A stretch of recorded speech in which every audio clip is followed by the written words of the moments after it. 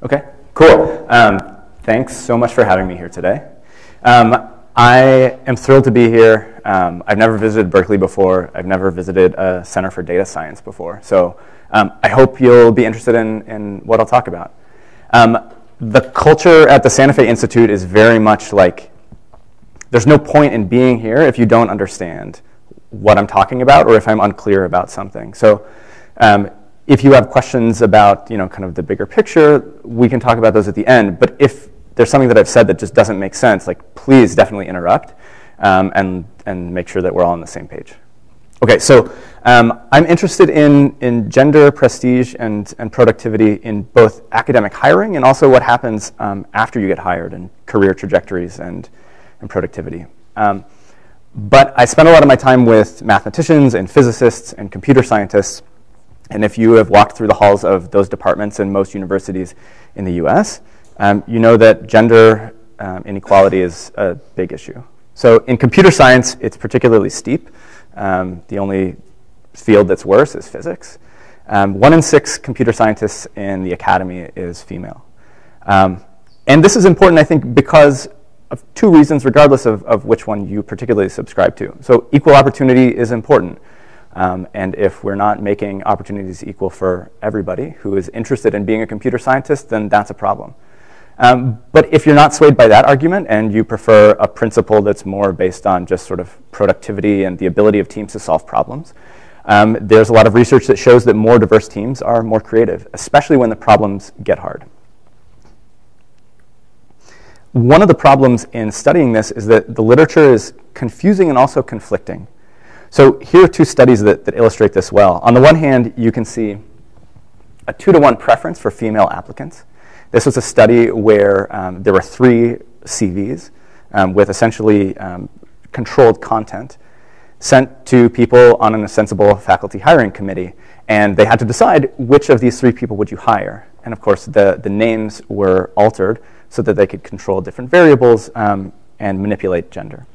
And this revealed a two to one preference for the female applicants um, to be followed up for an interview.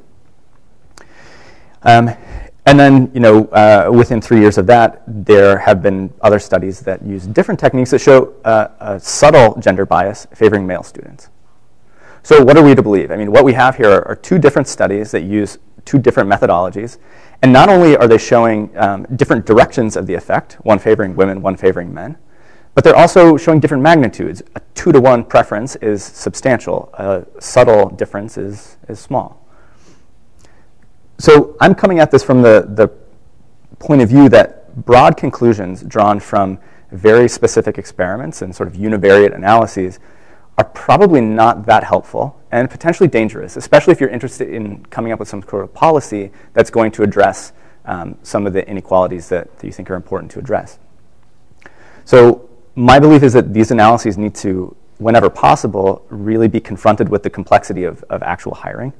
Um, and so the idea here is that we're going to be focusing on outcomes that are revealed in hiring data and in publishing data. So this is the outline of the talk. I'll first talk about identifying large-scale patterns in academic faculty hiring. Um, then we'll talk about how gender, prestige, and other factors affect the placement of PhDs into faculty jobs. Um, and then talk a little bit about diversity and productivity trajectories in the years after people are hired. So here's the first section, and I can't help but criticize my own field, which is network science. This was last year's NetSci, um, and if it looks like you have a nearly all-male panel or all-male set of invited speakers and plenary speakers, yeah. Ginestra Bianconi is a fantastic statistical physicist, um, and she was the only female representation at NetSci things are a bit better this year. Okay, so um, let me tell you about the data that, that we collected and the data that we used for this study. So we collected a lot of data by hand, and it was time consuming and expensive to make sure that the error rates were low um, and that we really got a, a, snapshot. But what we did is we, we got all US and Canadian tenure track faculty in computer science, business, and history in PhD granting departments. So if there was a PhD granting department anywhere in the US and Canada in one of these three fields, we basically got the faculty list of tenure track professors and then got as much CV data as we could about them. Um, and because the data were unstructured, there was no clear way to easily scrape everything. So um, we paid grad students a wage for grad students, I think 15 bucks an hour, and um, it took a long time. But this kind of gives you an idea of, of what we ended up with 205 computer science departments, 112 business departments, and 144 history departments. And the numbers of tenure track faculty add up to around 19,000 uh, records. So the average size of a CS department in the US and Canada is 25. For business, much larger, 83, and for history, 32. And you can see that the breakdown of full professors, associate, and assistant, um, or whatever their named equivalents were um, in their home departments, these are all about the same, um, with a bit under half being full professors and the rest distributed among associate and assistant professors. These are the fractions of those professors who were female. And I just want to say uh, something about coding. What we did was we asked our data collectors to tell us what the gender of the professor was. So this is not the gender that the professor um, expresses. This is what our graduate students did based on evaluating the name and the, and the photograph. Um, and we made no attempt to try and do anything more um, sophisticated there, and instead relied on the perceptions of others um, as what we thought might be useful when we're trying to predict how people are actually treated by the system. So I hope that makes sense. One of the questions is, you know, how many of the people who are faculty actually got a PhD from one of the other universities within the sample? You know, if you did your PhD um, at La Sapienza in Rome, then you would be out of the sample and you would be out of this network. But as you can see, um, around 85 to 90% of the PhDs were in sample. Um, and these were snapshot data. So over these different collection periods in 2011 um, through 2013, if you were a sitting faculty member then, you would be in the data set. If you retired in 2010, you would not be in the data set. And if you were hired after 2013, then you would also not be in our data set. So that's one data limitation that, that we should talk about in the, in the Q&A after. So from these data sets, what we did was we created directed integer-weighted networks. And the idea is that from a CV, um, the trajectories of an individual can form a network. So you can move from um, your bachelor's degree to uh, a master's or a PhD, and this could be, you know, if you stay at the same institution, this could be a self loop in the network. And then you move on to maybe a postdoc, um, maybe another postdoc, maybe another postdoc. um, and then eventually you, you get a faculty job. And even at the faculty level, you know, people make uh, moves from assistant to assistant, from assistant to associate, to associate with tenure, without tenure. So there are all, there are all kinds of different moves. And so what we did was try to respect that kind of diversity of possible trajectories within CVs. Um, but what we focused on was the transition from PhD to faculty. A question? That includes uh, moves between professors between universities? Yeah, it does include moves of professors between universities. So what we focused on was the doctorate and the eventual final faculty placement. So if you were a full, full professor in the data set, but you had done multiple moves before then, we are mostly interested in kind of reducing this more complex trajectory into just a move from PhD to wherever you are now. A question in the back? There's only one exit from the academy. Is that a question or a statement? No. yeah, so yeah. So because we were only collecting CVs from folks who are uh, sitting faculty or who were sitting faculty at the time of the snapshot, we have no information about those who left academia, um, who were you know lured away or or forced away, you know for whatever reason. Um, so that's another data limitation to talk about, which is that all of our observations are conditional on people being faculty at the time of the data collection. So what we assemble are faculty hiring networks, and this is computer science data. These are the, the top 10 institutions. Um, and you can see, you know, nice little visualization here. And I've highlighted the flows coming out of MIT just so you get an idea of um, how crowded and, and, tangled these are. So our premises um, in assembling these is that actually faculty hiring reveals collective preference. So you have a hiring committee, and they receive let's say 400 applications for a particular job, at least 100. Um, and they need to make a decision about whom to, to hire whom to interview. Um, and in doing so, not everybody is an expert in whatever that applicant's field is. And so signaling theory tells us that the prestige of the doctorate is going to uh, affect people's beliefs about you know, who should they, they should actually hire. Um, so under the premises that, that faculty hiring reveals some of these preferences and that hiring committees actually want to hire the best, that the system is an attempt at a meritocracy, um, the collective hiring patterns show us how the institutions view each other, how the departments are actually viewing the training that the, the graduates are receiving. So we can take this and create a ranking out of it. Okay, so there are lots of different ways to do rankings. And the way that we chose was what's called a minimum violation ranking. So the algorithm is, is really, really simple. You just take all the institutions, and I'm going to arbitrarily order them. Um, and this should place about 50% of the flow up the hierarchy and 50% of the flow down the hierarchy.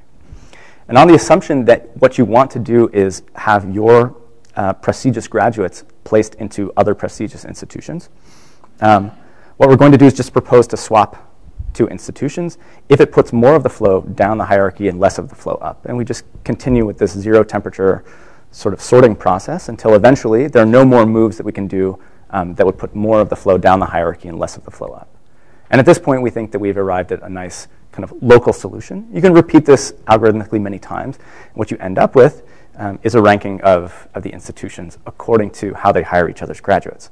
So this is just the top 10, um, but this is what the rest of the data look like.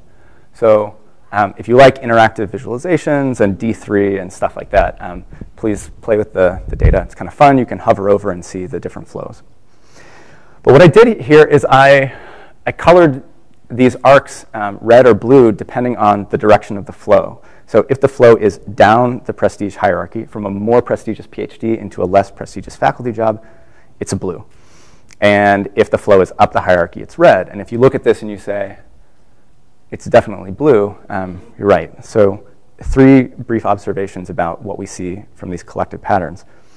One is that um, this is systematic. About 90% of the hiring movement is down the hierarchy which means that if you're graduating with a PhD and you're wondering about your fate, um, 1 in 10 will move up the hierarchy against the current, and 9 out of 10 will move down. Um, it's also pretty steep.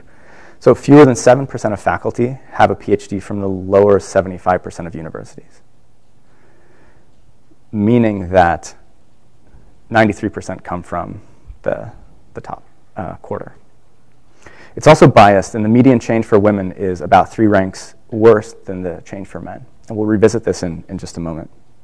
Um, but there are other aspects of this other than just the, the sort of large scale behavior. So there's also a very clear core periphery structure within these networks. So what I'm showing you here is a plot that goes from the, the highest prestige down to the lowest. Um, and a brief note on when I'm saying prestige, I'm not trying to disambiguate at all between prestige that comes from the name only and prestige that comes from like the actual quality of the candidate. I think prestige mixes those things, and that's what we're observing here.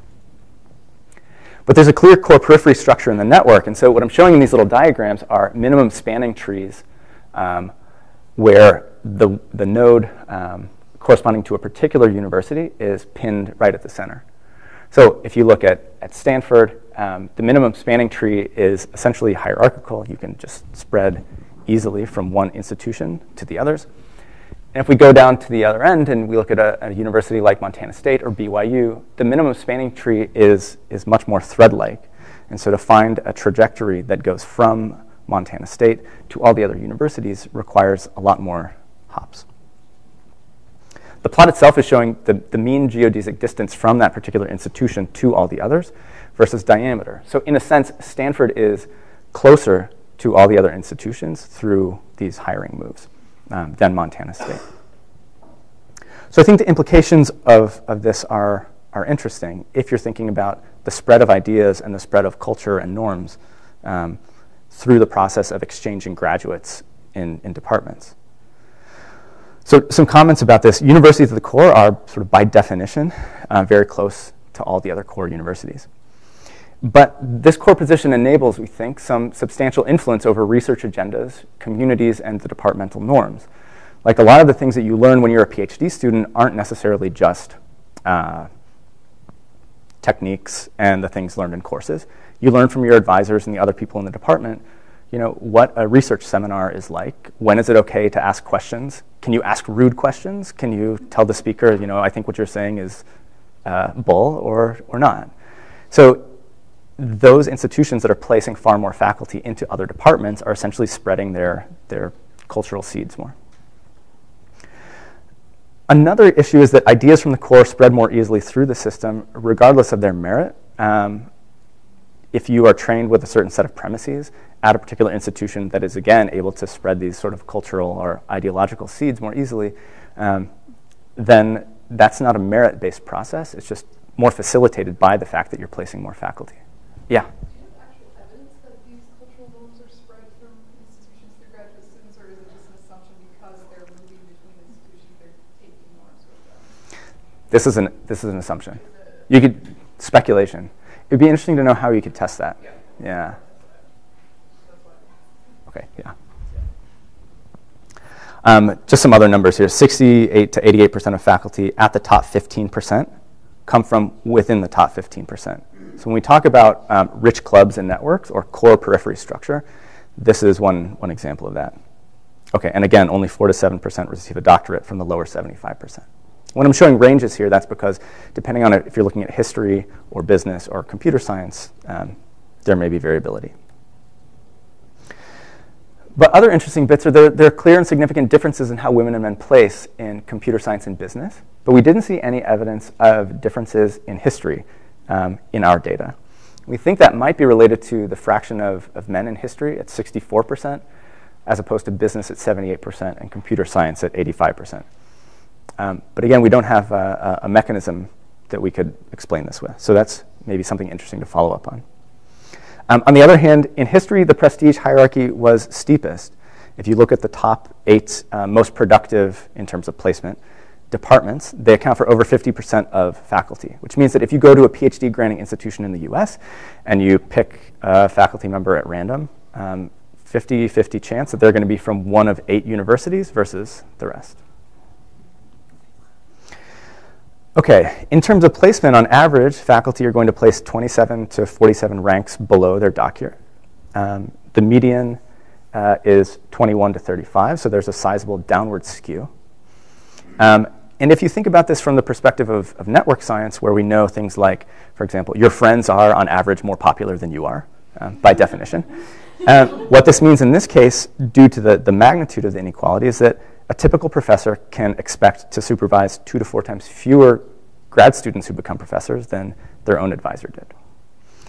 Um, but one thing that I think is really fun here is that we're not creating a ranking per se. We're letting the faculty hiring process sort of cast votes for different departments.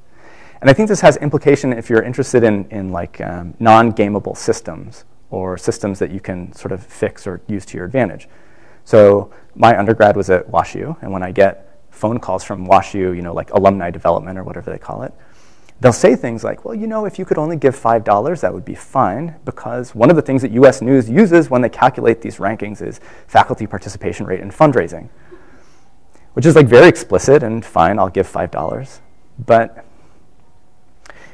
the system itself, when it starts to be gamed, loses meaning. And what's interesting about this system is that for a university to move up in a ranking based on faculty placement, what you essentially would have to do is convince other departments to hire your graduates, which I think is, is like a real test that would take either um, a substantial increase in quality or prestige or some amount of collusion. And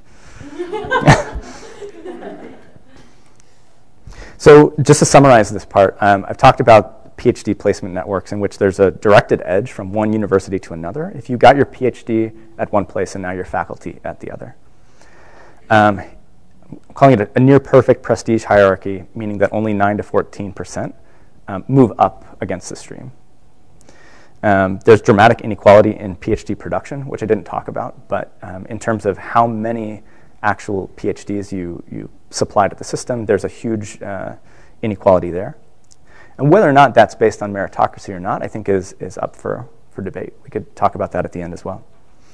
Um, we're able to predict placement better than a US News ranking using this, this sort of ranking. And that makes sense that if you derive the ranking from the data that you're trying to predict, you should be better at predicting that data. Um, but I want to talk about predicting placement. The reason is that what we saw here was that there was a large amount of structure that was explained by hierarchy um, and by prestige. But I also mentioned that there's a difference between how women and men place in the system, which suggests that Um, we're not capturing everything when we talk about prestige. There's a lot of pattern here that is, is not, uh, not well modeled by prestige alone. So the idea here is to model the assembly of hiring networks.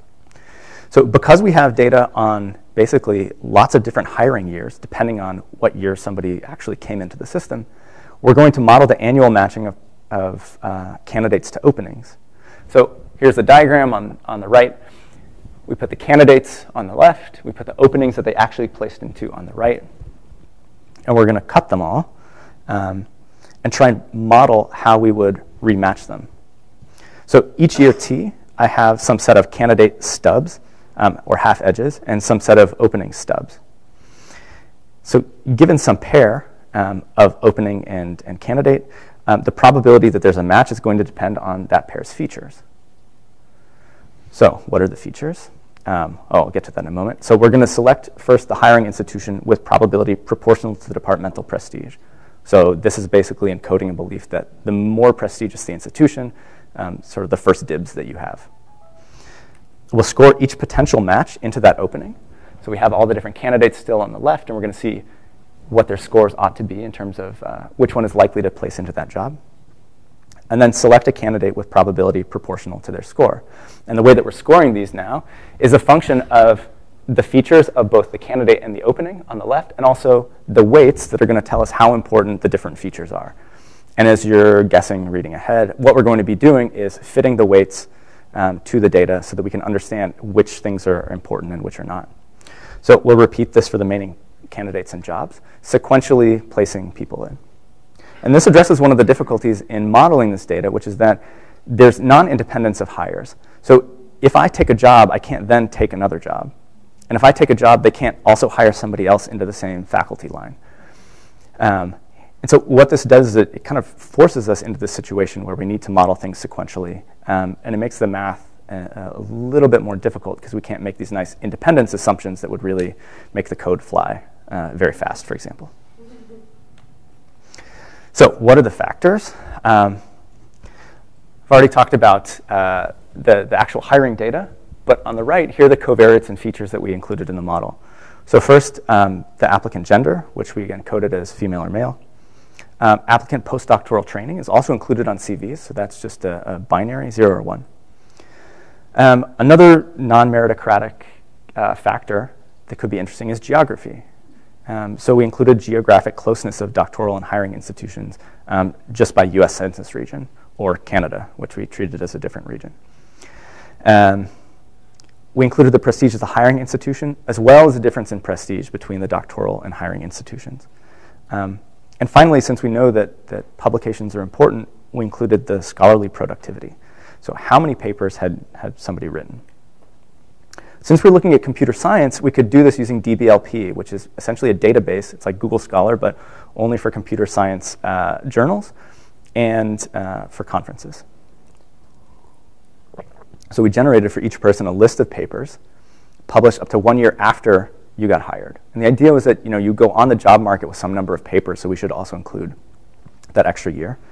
And we made no attempt to evaluate like which venues were prestigious and good and which were you know sort of garbage and pay to play.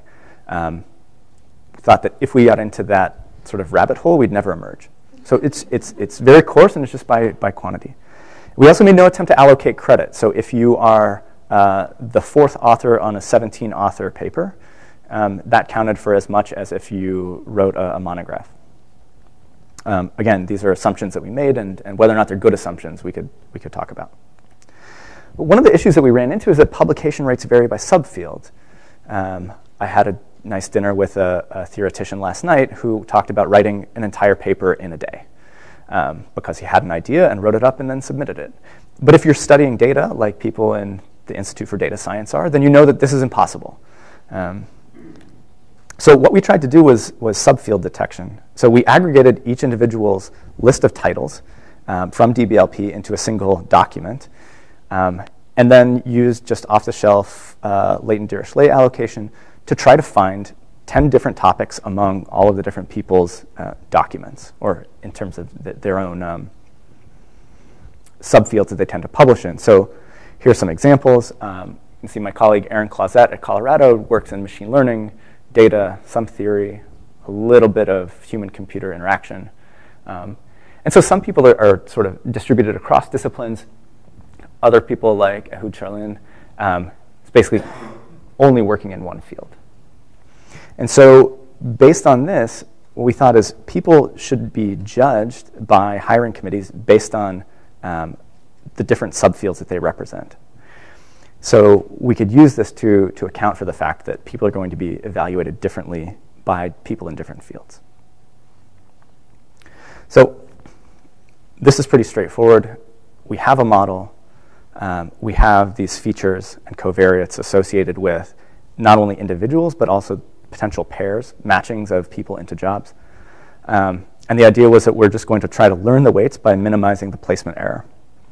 So we added covariates one by one in a greedy fashion, um, and then saved gender for last. And so this is showing the error reduction relative to sort of baseline, where we're not using any model at all. And including the rank difference was the, the most important thing, um, followed by productivity. That explained another uh, 2% of the, the error. If we then include the rank of the hiring institution by itself, that, that uh, again is a significant, although not necessarily substantial, reduction in error. Um, if you then include postdoc experience and geography, those together um, give you a significant additional uh, decrease in error. But then, when we included gender, there was no significant difference. Um, and our interpretation of this is that gender bias is not uniformly and systematically affecting all hires. Instead, what we think is that gender is essentially encoded in these other variables. So if you instead include only gender as the only feature that you're willing to consider, then of course you're going to see a significant effect, a significant reduction in your modeling error. But if we account for all of these other factors, these other features in the data, um, and then include gender, um, we don't see a significant difference.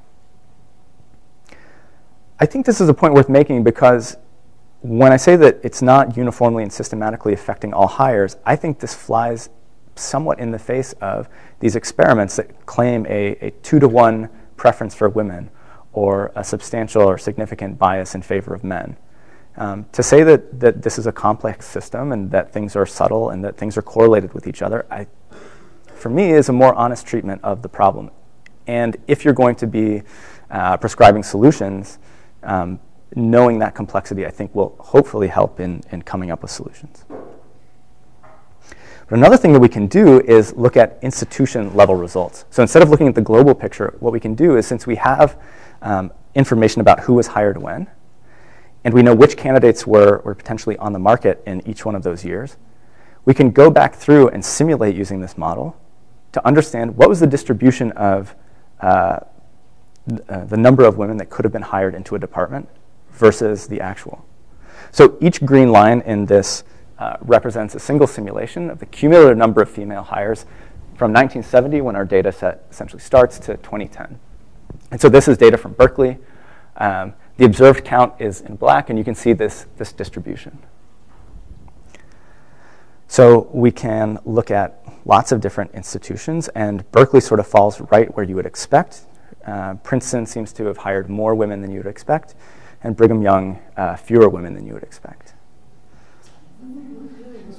What we can do is then place all of these, where we're taking the actual number of women hired as seen through our data set, minus the expected, so we can see whether or not you're hiring more women than you would expect or fewer women, um, and then order these by rank.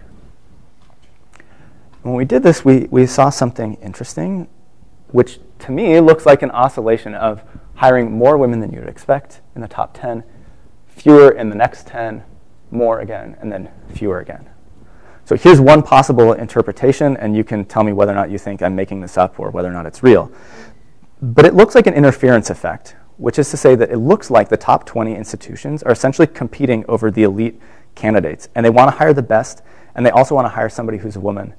And so they are essentially competing for, for these very, very best candidates. And what that means is that if you have um, a, a, stronger department, um, a more prestigious department, you essentially have more attractive power to actually get those, those people to come to your institution, whereas between 10 and 20, you might not have the same name recognition, the same resources, the same ability to attract those candidates. So if you make an assumption of, of a finite hiring pool, um, then this interference effect could be real. But the fact that it flips again here maybe means that there are sort of two distinct candidate pools. You have the people who are applying broadly to the very top institutions, and those who are casting a, a wider net. I don't know if this is real. Um, we, we're not sure exactly how we would test this, but one thing that we're keen on doing is expanding this to other fields to see if this sort of pattern repeats itself there. That would be much more convincing, I think. So some conclusions about this section were that the best predictors in our model were doctoral prestige and productivity. Um, and accounting for gender does not help predict faculty placement when we add it at the end. And there are three possible explanations. So one could be that the effects of gender are modeled unrealistically. One could be that gender is simply an irrelevant feature in faculty hiring. Um, and the third is that the effects of gender are accounted for by the other covariates that we've already included. Um, and I already mentioned this, but, but I think that there's more evidence for number three. So three points in particular, we found significant differences in the effects of publishing and postdoctoral training for men and for women. By going back and visiting the weights of the fitted model, what you can see is there's essentially an exchange rate between gender and productivity.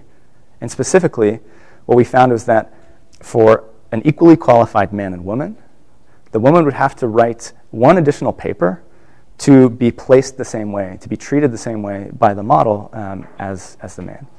And these are for CS candidates, and they're coming to the market with between, uh, let's say, 12 and 15 papers. So, um, you know, the difference of, of one paper out of 15, um, it's a lot, but it may be different depending on the field that you look at. Th that exchange rate may, may differ. Um, we also saw significant differences in men and women who move up the prestige hierarchy. I didn't talk about that. Um, and we see what we believe are these interference effects between higher and slightly lower prestige institutions. So some future directions. Um, here's one future direction just out of the trends in the data. Um, if you project ahead based on the percentage of hired faculty who are women and men, it looks like we'll reach hiring parity in 2075. so that's, that's if nothing changes.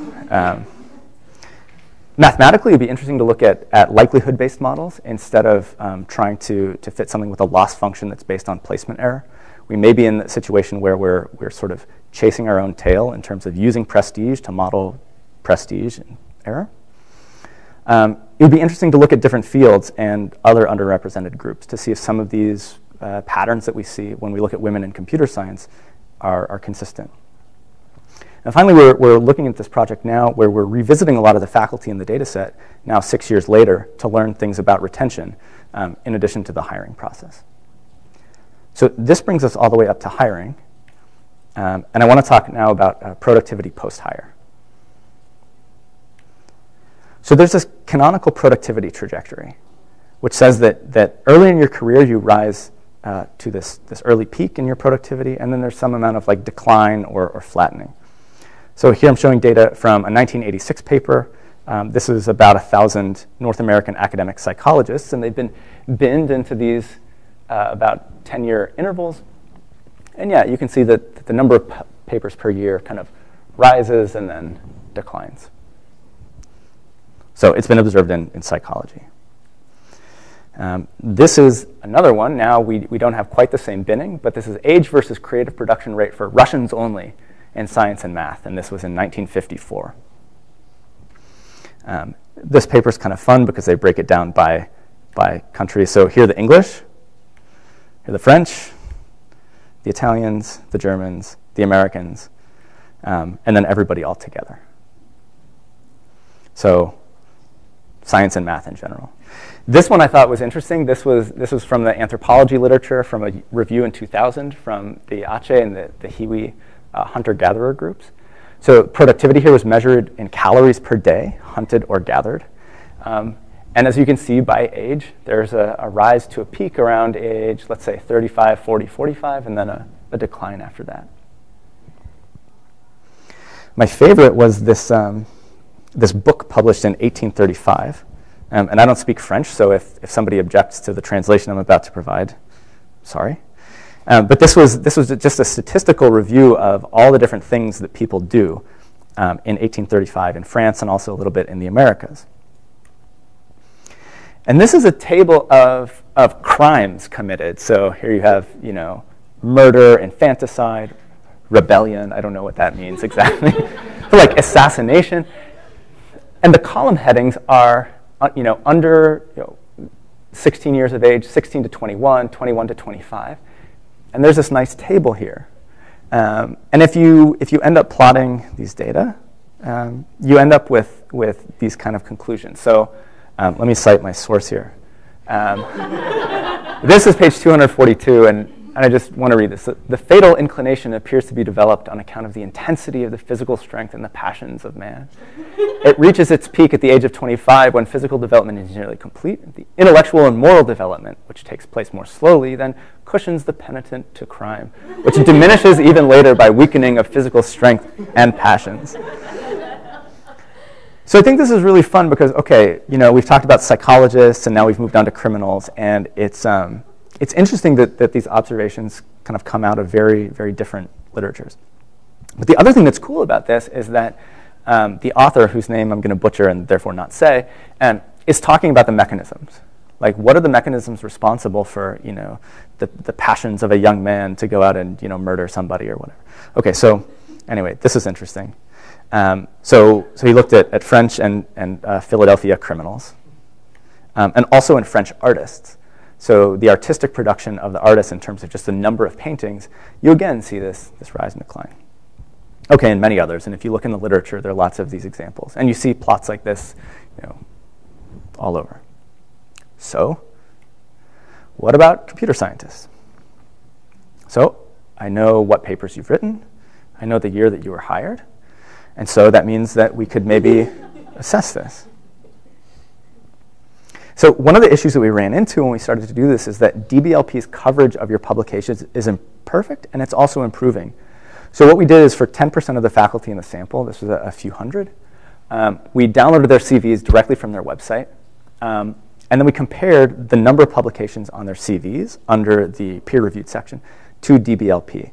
And this gives us a ratio of the DBLP publications to CV publications. Um, and as you can see, DBLP's coverage has been growing over time.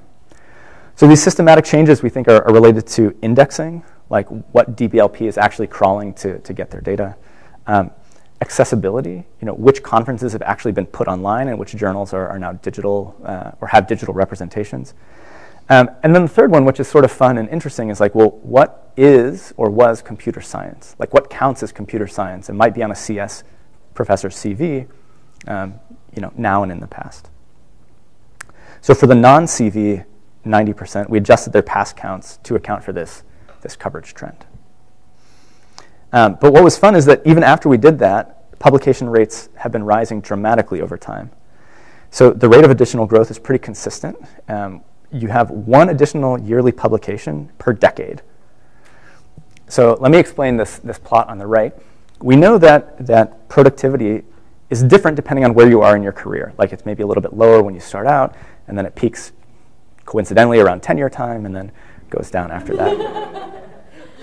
so depending on which years you compare, um, you may get sort of different growth rates. But if we normalize these by the number of publications in 2011, what you see is that if you look at the first five years versus year five in particular, years five, 10, and 15, you, you end up with a very consistent collapse of the data. Um, and so the growth rate in publications over time is pretty consistent. Now, speculation about why this could be. So one thing could be the minimum publishable unit may be decreasing, so it's easier to write little papers. Um, another thing could be that in computer science, there's a, a strong tradition of publishing at conferences, and conference proceedings are yearly, and there are more and more conferences. So these conference deadlines approach, and you send in whatever you have. Um, but what that meant for us was that we had to adjust for coverage on the previous slide and now adjust for growth. Now, the reason we're going to adjust for growth when we're looking at trajectories is that if you just publish five papers a year, but the norms within the field are changing, then it's like you're publishing fewer and fewer equivalent papers per year, um, even though the actual number is, is the same. So this I thought was interesting. This is what you look at um, when you look at the first 10 years post-hire. And this is um, prestige increasing. So Berkeley is over here on the right. Um,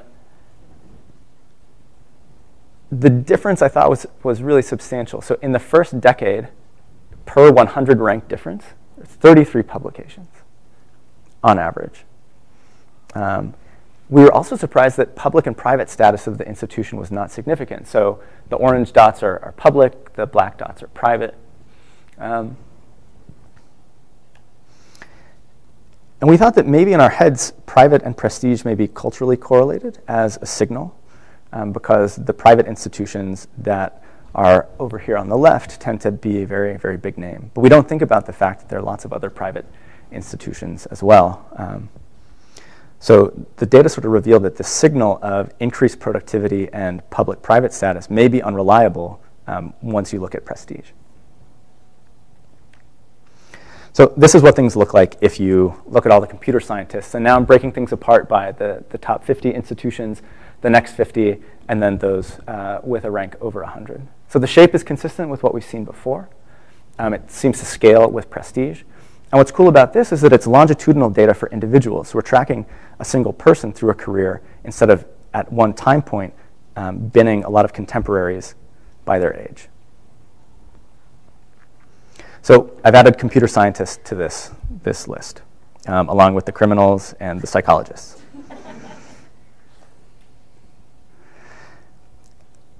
so we sort of got interested in this because this is an average. And if you study systems where, where you're only looking at the average, um, but you're interested in learning about kind of the different trajectories that people actually take, you have to ask whether or not there are any individuals who are actually well described by the average. Like the average looks like this, but are there any people who actually look that way? Um, if so, that's interesting, and if not, that's also interesting. So we decided to, instead of averaging over you know, thousands of people, um, try to model individual trajectories. So here's what we did. We said, okay, if there's a rapid rise to an early peak and then a decline or flattening, the simplest model that we could write down is this just stupid piecewise linear function that's continuous. Um, and so it's got a slope and then another slope. There's some change point, t star, um, and then it's got an intercept. So it's a, a four parameter model.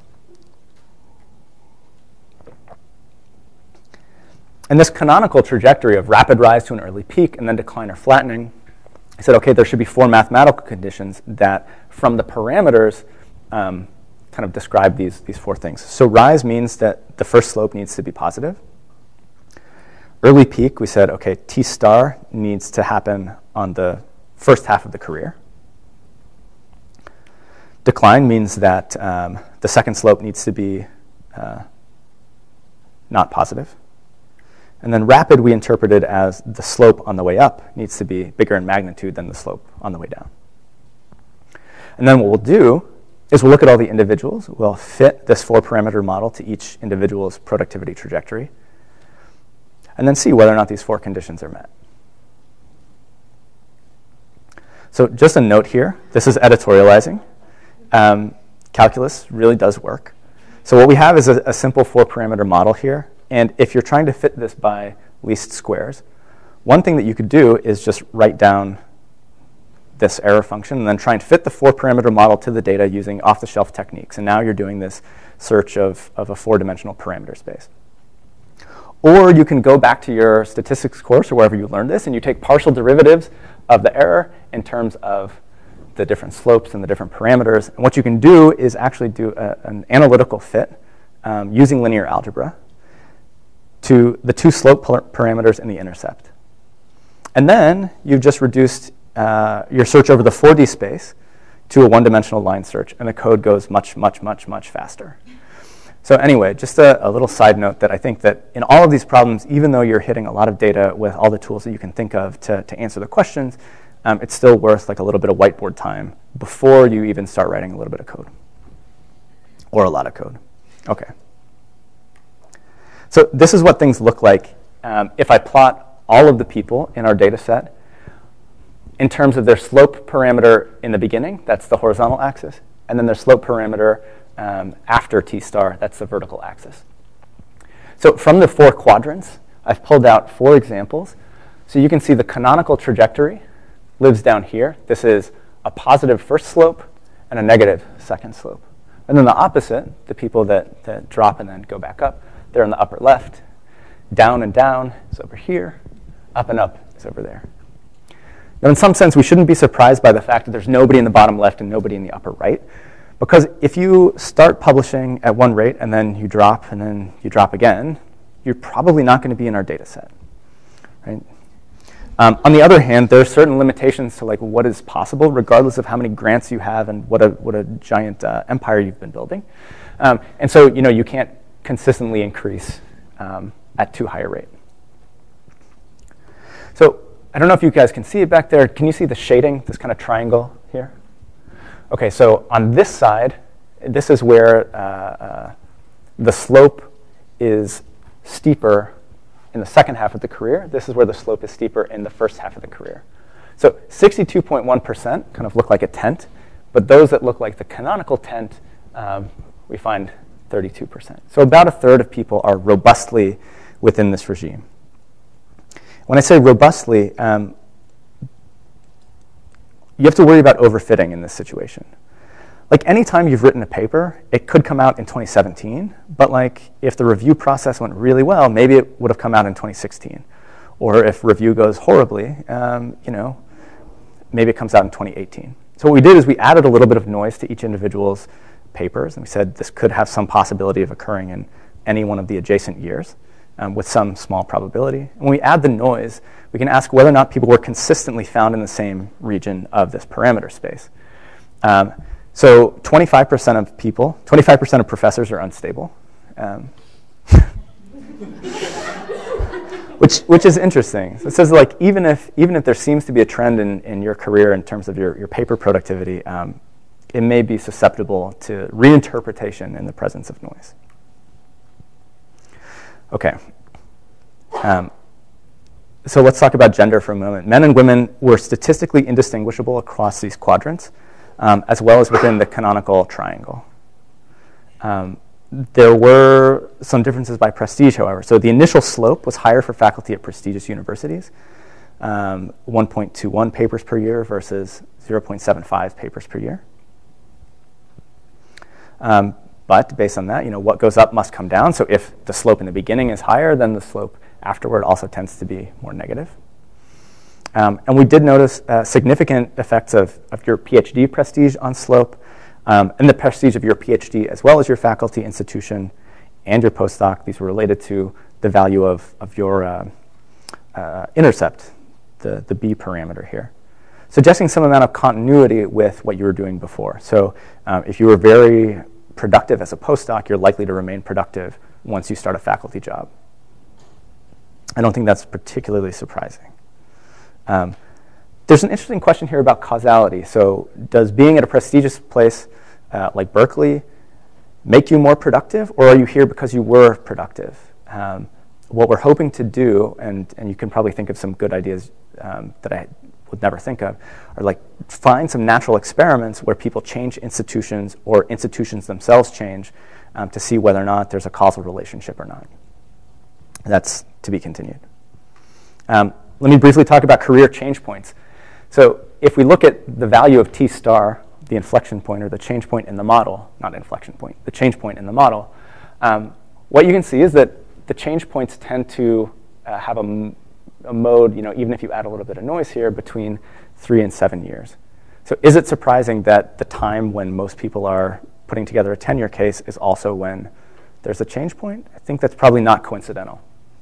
I want to note that uh, we only included those with what I'm going to call a meaningful T star, which is that we're fitting a model with four parameters to data, but it's not necessarily the case that we should be able to interpret T star if somebody's better modeled by a straight line. So we just used um, AIC here to decide between using this four parameter model and a line. And we chuck out all the people who are better modeled by just a line and only interpret those T star values that we think are, are meaningful as determined by AIC. What's kind of interesting is that if you look at from the actual data, when was your peak productivity? When was the year in which you wrote the most papers? And we place a dot for an individual here based on the length of the career um, and your most productive year um, what you can see is that, again, if you include these early career faculty in gray, um, or you don't include them and you just have the orange, um, you can see that the modal year for peak productivity is, once again, right around year five. But there's a lot of diversity. So all the people across the bottom here, these are people whose first year on the job was their most productive year.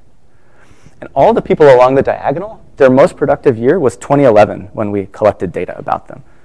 And there are some people who have you know, been in these jobs for three or four decades whose most productive year was this most recent year. So, okay, yes, there are patterns. Yes, we can tell a story about tenure, but there are lots of different ways to have a career.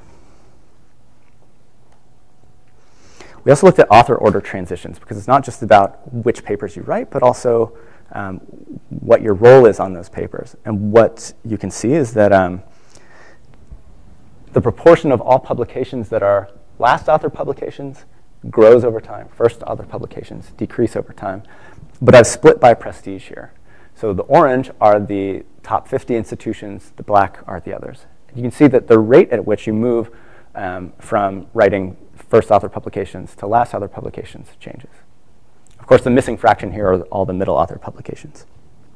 One thing we have to worry about here is that CS theory is like math, and people order the authors alphabetically. So we need to remove those folks from this data set. So you can write down you know, a, a permutation model. Um, you know, if there are three authors on a paper, there's a three, one over three factorial chance that they're going to be at random um, alphabetical.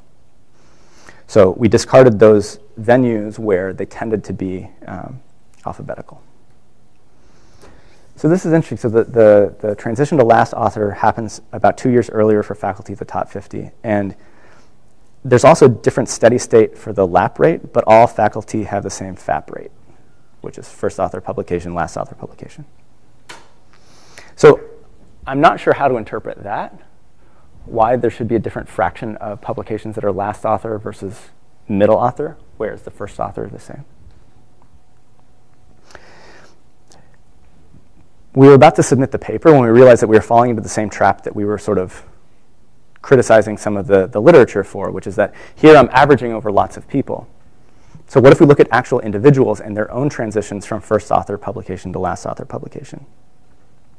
So these plots are a little bit messy. Individuals are dots and then a kernel density estimation is shown in the, the field behind.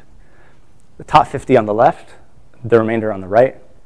What I'm showing you is, is the first author paper publication rate here, the first author publication rate in the years three through five. Um, so if you are going from writing a lot of first author papers to fewer first author papers, then you're going to be below the diagonal. Um, and so what you can see is, again, there's a huge amount of diversity here. Um, there's no one way that people write papers over the course of a career. So some conclusions here. Um, this canonical narrative appears to describe only about one of three faculty. Um, and patterns within the doctorate in terms of productivity may persist post-hire. And this, uh, this includes gender. So if gender affected how uh, a PhD went, how many publications you were able to write, um, the support that you got from your advisors, and so on. Those kinds of things that happened during the doctorate are going to persist through postdoc and, and post-hire. Um, but I want to stress that, that, our conclusions here are a little bit limited. So there are lots of ways to be productive that don't involve peer-reviewed publications. And anybody who's been in academia for longer than uh, you know, a couple of years knows that you can review a lot of papers, make a contribution that way. You can write a lot of grants, but not a lot of papers. You can chair a department. You can start the Berkeley Institute for Data Science.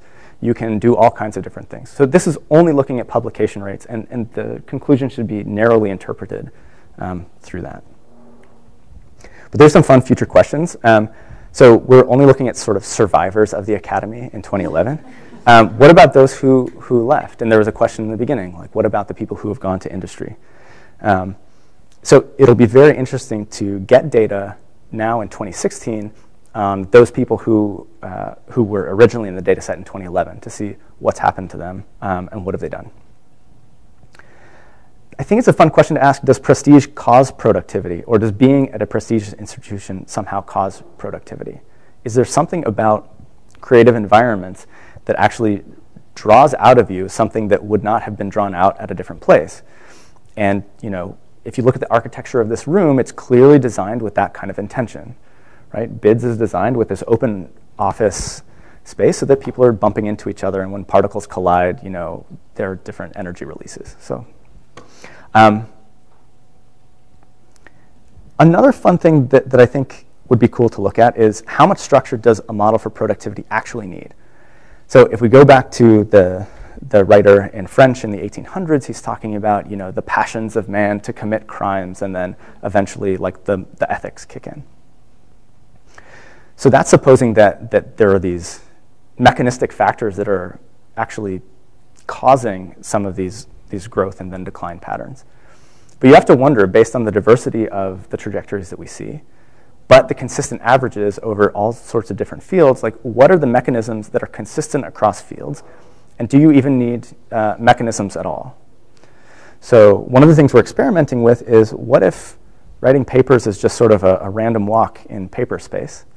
Um, and then you just impose a, a, sort of threshold right around tenure time that people try to make their way over. Can you use that to get both the, the stochasticity of the different patterns um, as well as the, the consistency of the averages?